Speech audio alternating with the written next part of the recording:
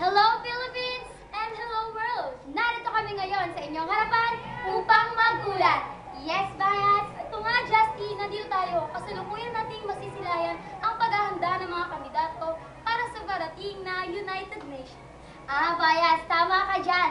Ngayon, narito si Charlene Rangas upang magulat. Charlene?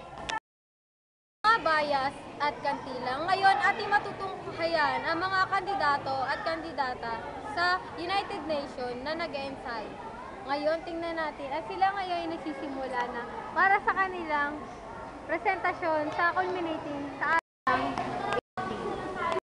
Ayan.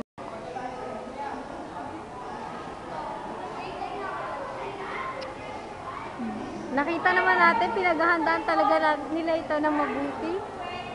At ang kanila, ang naglilid sa kanila ay si Ella May Villar. Maraming salamat, Charlene Rangas. At ngayon, tungayan naman natin ang katatapos lamang na pag-ensayo ng mag-aaral ng Monroe High School. Bayas? Oo nga, narito nga mag-uulat si Marinel Gutierrez. Gutierrez? Naririto tayo ngayon kung saan nag-ensayo ang mga estudyante ng Manuel Rojas High School na gaganapin ngayong linggo sa, spo- sa Amurato Sports Complex. Wiga, wiga!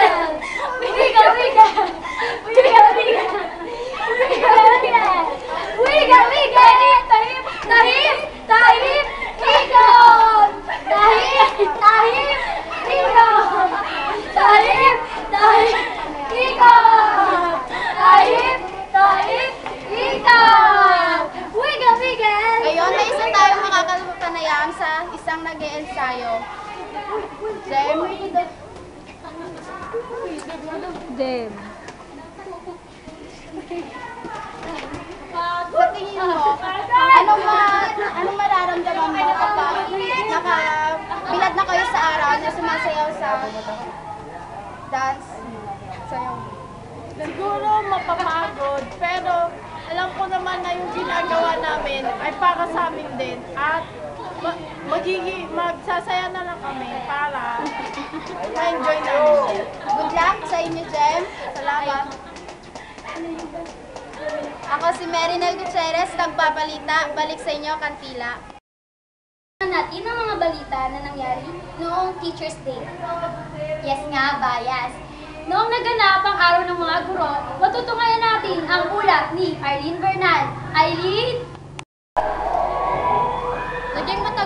Pagdiriwang ng World Teachers Day na ginanap noong ikatatlo ng Oktubre na pinamunuan ni Gina Capistrano kasama ang mga SSG.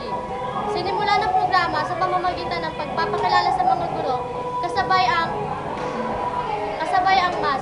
Kasunod nito ang pagdiriwang sa mga classroom. At, pina, at natapos ito sa paglalaro ng